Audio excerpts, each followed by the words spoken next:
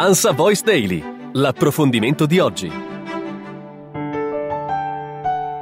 Un saluto e ben trovati con l'approfondimento. Non volevo più vivere. La scioccante e onesta rivelazione di Meghan Markle ad Oprah Winfrey ha richiamato alla memoria di molti il suo precedente più illustre, l'esplosiva confessione della principessa Diana alla BBC due anni prima che morisse sotto al ponte dell'Alma a Parigi. Era il 1995.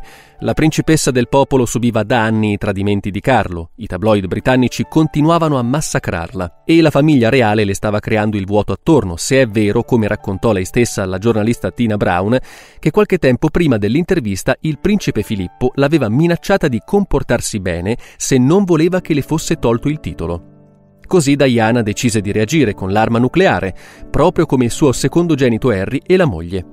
Eravamo in tre in quel matrimonio, era un po' troppo affollato, furono le poche parole che innescarono la bomba, pronunciate da Diana a voce bassa con un sorriso sarcastico e al contempo amaro. Distruttive, non solo per la reputazione di Carlo e Camilla Parker Bowles. L'intervista esclusiva a Martin Bashir, registrata di nascosto una domenica nella sua residenza a Kensington Palace, aprì una crisi il cui apice fu la tragica morte di Lady Di nell'agosto del 97, dalla quale i Windsor sono usciti dopo anni.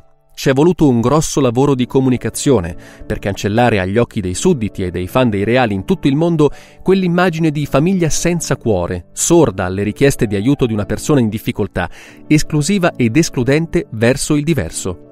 26 anni dopo, il quadro non è molto dissimile con la differenza che in questo caso non è stata soltanto l'outsider ad essere discriminata, ma è lo stesso principe, il nipote prediletto della regina Elisabetta, a denunciare il senso di abbandono, di isolamento provocato dalla sua famiglia, soprattutto dal padre Carlo che lo ha lasciato solo.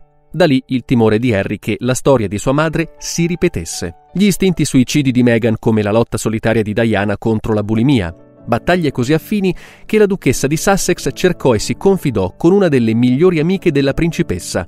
Chi altro poteva capire come si sta davvero, ha spiegato Meghan che, in omaggio alla defunta suocera, ha indossato durante l'intervista uno dei braccialetti di diamanti preferiti da Lady Di, un tennis di Cartier con il quale è stata fotografata in diverse occasioni.